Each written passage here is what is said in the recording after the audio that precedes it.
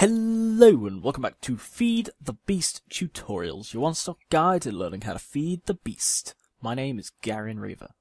This time I'm showing you something from the Portal Gun mod. This is the Electronic Intelligence Indicator.